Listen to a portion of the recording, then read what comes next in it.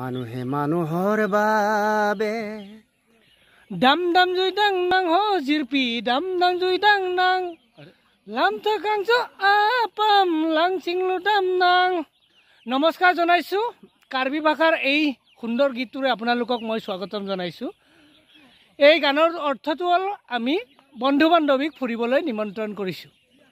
আমাৰ জীৱনতো ফুৰাটো এটা চখ প্ৰত্যেকৰে। ভাল লাগে ফুৰি পেলাই। নতুন নতুন ঠাইবোৰ আমি দৰ্শন কৰি খুব মনত আনন্দ লাভ কৰোঁ। তো প্ৰথমতে আমি ঘূৰি ফুৰা মানুহ সামাজিক কাম কাজ কৰা মানুহ। প্ৰত্যেক গাঁৱতে আমি ঘূৰি ফুৰি থাকোঁ। অহা ত্ৰিছ অক্টোবৰ তাৰিখে মিচিং ভাষা দিৱস এইখন গাঁৱতে পাতিবলৈ আমি গৈ আছোঁ। পাণবাৰী আদৰ্শ মিচিং গাঁও খুব সুন্দৰ গাঁও। সেউজীয়া পৰিৱেশ এটা পাব।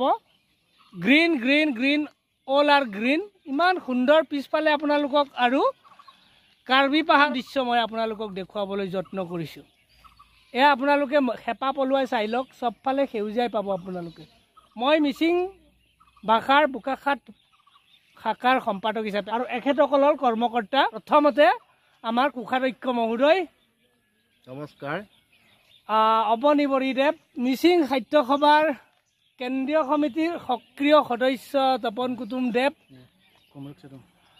আৰু মোৰ শিক্ষাগুৰু তথা আমাৰ মিচিং সাহিত্য সভাৰ বোকাখাট শাখা আলোচনী সম্পাদক মেগাজিন ছেক্ৰেটেৰী লগতে মোৰ এজন শিক্ষাগুৰু। তেখেত মোৰ জীৱনত এটা আদৰ্শ শিক্ষক হিচাপে সদায় সোমাই আছে মোৰ মনৰ মাজত। ফাইনেলি আমি এখেতক চিনাকি কৰাই দিছোঁ। এখেত হৈছে এজন ভাল প্ৰতিষ্ঠিত কবি সমাজকৰ্মী। আপোনাৰ নামটো কৈ দিয়ক। লগতে তেখেতে মানে এগৰাকী গায়ক হিচাপেও আমাৰ অঞ্চলটোত জনাজাত তো ইয়াত এখন সুন্দৰ লোকেশ্যন আছে। আপোনালোকে যদি আহে আদৰ্শ মিচিং গাঁৱলৈ বোকাখাটৰ পৰা মাত্ৰ আঠ কিলোমিটাৰ দূৰলৈ আহিব লাগিব পশ্চিমলৈকে। এইটো মই বিশেষকৈ ভূপেন হাজৰিকা মহেন্দ্ৰ হাজৰিকাৰ পৰা ধৰি অসমৰ যিমান নামী দামী শিল্পী আছে প্ৰত্যেকে মই গীত পৰিৱেশন কৰোঁ। আৰু মোৰ দুই এটা গান ওলাইছে আপোনালোকে নিশ্চয় শুনিছে। সেয়েহে মই ভূপেন দাৰ এটি গীতেৰে মই অকণমান কলিয়তি গাম। মানুহে মানুহৰ বাবে যদিহে অকণো নেভাবে অকণি সহানুভূতিৰে ভাবিব কোনে নোকোৱা সমনীয়া। মানুহে মানুহৰ বাবে মানুহ যদিহে নহয় মানুহ দানৱ কাহানিও নহয় মানুহ। যদি দানৱ কাহানি বা হয় মানুহ লাজ পাব কোনে নোকোৱা সমনীয়া মানুহে মানুহৰ বাবে। সুন্দৰ এই মানুহবিলাকৰ যিটো পৰিশ্ৰমী মনোভাৱনা আমি দেখা পাইছোঁ অসমৰ এটিপাতত দুলটি কলি অৰ্থাৎ চাহপাত অসমৰ আমাৰ এটা আত্মা বুলি ক'ব লাগিব। আমাৰ অৰ্থনৈতিক অৱস্থাৰ এক উল্লেখনীয় অৱদান আগবঢ়াই আহিছে। চাহ বাগান ইয়াৰ মানুহবিলাকৰ এটা জীৱন জীৱিকাৰ ক্ষেত্ৰত চাহপাতো এটা অন্যতম গুৰুত্বপূৰ্ণ ভূমিকা পালন কৰে। চাহ খেতি কৰে এই জেগাৰ মানুহবিলাকে।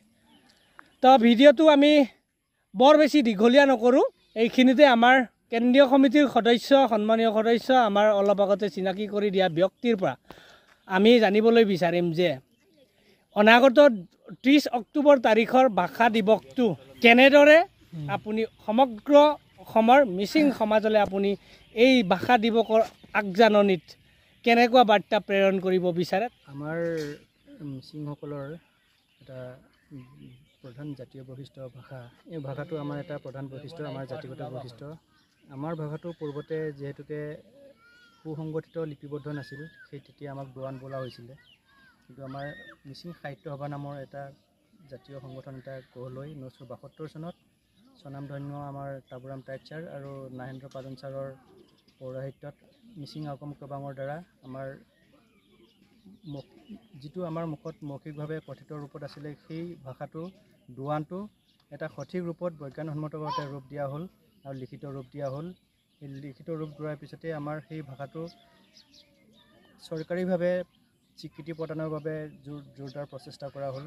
সেই প্ৰচেষ্টাৰ অন্তত আমাৰ ঊনৈছশ পঁচাশী চনত ত্ৰিছ অক্টোবৰ তাৰিখে আমাক চৰকাৰে চৰকাৰী ভাষা হিচাপে আমাৰ ভাষা হিচাপে স্বীকৃতি দিলে। সেই তেতিয়াৰ পৰাই আমাৰ মিচিং লোকসকলে আমাৰ মিচিং ভাষাটোৰ সেই দিনটোত ভাষা দিৱস হিচাপে পালন কৰি আহিছে। বৰ উলহ মালহেৰে আমি আনন্দৰে সেই দিনটো আমি উদযাপন কৰোঁ। আমাৰ আমাৰ মিচিং সমাজক। মিচিং সমাজক আমাৰ মিচিং চহা জীৱনৰ যিটো মিচিং সমাজ যি যি জাতিয়ে অষ্টম শতিকাতেই অসমলৈ প্ৰব্ৰজন কৰিছিল বুলি জনা যায়। চাইনা তিব্বতৰ পৰা প্ৰব্ৰজন কৰি টানি গোষ্ঠীৰ যিটো আমাৰ ভাষা এই ভাষাটো কেৱল মৌখিকভাৱেই আমাৰ ইমান দিন জীয়াই ৰাখিবলৈ সক্ষম হৈছিল। পঁচাশী চনৰ ত্ৰিছ অক্টোবৰ তাৰিখে আমাৰ অসম গভমেণ্টে মিচিং ভাষাক এটা ভাষা হিচাপে স্বীকৃতি দিছিল। তো এই জাতিটো যিটো উত্তৰ অসম শাখা ব্ৰহ্মী আছে আৰু প্ৰায় দক্ষিণতো ব্ৰহ্মী আছে প্ৰায় আজি এঘাৰখন জিলাত এই জাতিটো সিঁচৰতি হৈ আছে। আপুনি এই ত্ৰিছ অক্টোবৰ তাৰিখৰ পৰা এই মিচিংসকলক ভাষা দিৱস সম্পৰ্কে বা ভাষাটো জীয়াই ৰখাৰ ক্ষেত্ৰত আপুনি কি মন্তব্য দিব হয় মন্তব্য মানে আমি আগম কাবাঙে প্ৰতি বছৰে সেই দিনটোত আমি বিশেষভাৱে পালন কৰি আহোঁ আৰু এইটো উদ্দেশ্যত যে আমাৰ ভাষাটো এতিয়া সকলোৱে লক্ষ্য কৰিছোঁ যে দিনক দিনে আমাৰ মিচিং ভাষাটোৰ প্ৰতি আমাৰ মিচিং মানুহবিলাকৰ গ্ল'বেলাইজেশ্যনেই হওক অন্য কি যিকোনো বিশ্বায়নেই হওক। তাকে আমি আগম কাবাঙে বিশেষভাৱে এই বস্তুৰ ওপৰত গুৰুত্ব প্ৰদান কৰি প্ৰতি বছৰে এই ভাষা দিৱসৰ দিনটোত আমি গাঁৱে গাঁৱে গৈ য'ত য'ত আমাৰ মিচিং ভাষাৰ প্ৰ- প্ৰ- প্ৰাচুৰ্যতা আছে সেই অনুষ্ঠান অঞ্চলবিলাকত গৈ আমি মিচিং ভাষাটো প্ৰতি বছৰে সেই দিনটোত বিশেষভাৱে ছাত্ৰ ছাত্ৰীসকলক লগত লৈ বিভিন্ন অনুষ্ঠান আদি অনুষ্ঠিত কৰি এই ভাষাটো পালন কৰি আহিছোঁ। আমি সেই লোকসকলৰ মাজত আমাৰ ভাষাটো প্ৰচাৰ কৰিবৰ বাবে সচেতনতা আনিবৰ বাবে আমি এই গাঁওখন বাছনি কৰিছোঁ। গতিকে ইয়াত আমি আজি প্ৰথম অৱস্থা যদিও আমাৰ এমাহ দিন আছে আমি সেই এমাহ দিনটোত আগমুহূৰ্তত আমি ইয়াত প্ৰথম আহি আজি উৎফুল্লিত হৈছোঁ যিহেতুকে ইয়াৰ গাঁৱৰ ৰাইজ মানে বৰ আগ্ৰহেৰে লৈছে তেওঁলোকে ভাষা দিৱসটো পালন কৰিবৰ বাবে। আমি ভাল পাইছোঁ আৰু আমি তেখেতসকলক ধন্যবাদ জনাইছোঁ। আমি ভাবিছোঁ আগন্তুক ত্ৰিছ অক্টোবৰ দিনটোত আমি বৰ ধুনীয়াকৈ আমি এই দিৱসটো উদযাপন কৰিব পাৰিম। ধন্যবাদ থাকিল আপোনালৈ। বন্ধুসকল যদি আমাৰ ভিডিঅ'বোৰ আপোনালোকে ভাল পালে লাইক কমেণ্ট কৰিবলৈ নাপাহৰিব আৰু আপোনালোকে যদি নতুনকৈ আমাৰ চেনেললৈ আহিছে তেতিয়াহ'লে ছাবস্ক্ৰাইব কৰি থৈ দিব।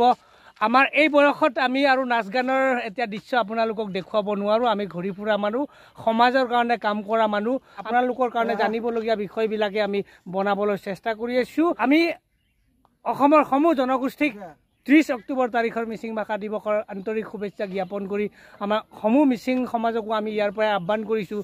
আমাৰ ভাষা জীয়াই ৰাখক জাতিটো জীয়াই ৰাখক। বৃহত্তৰ অসমীয়া জন অসমীয়া জাতি হিচাপে আমি বিশ্বৰ আগত ইউনিটি এমংছ দ্য ডাইভাৰ্চিটি এই আদৰ্শৰে আমি অনাগত দিনত প্ৰতিফলিত কৰক বুলি আমি আশা ৰাখিছোঁ ধন্যবাদ জনাইছোঁ। আমি আকৌ পুনৰ আপোনালোকক দেখা প্ৰতিশ্ৰুতি দি আজি ভিডিঅ'টো ইমানতে সামৰণি মাৰিছোঁ। ধন্যবাদ। বাই।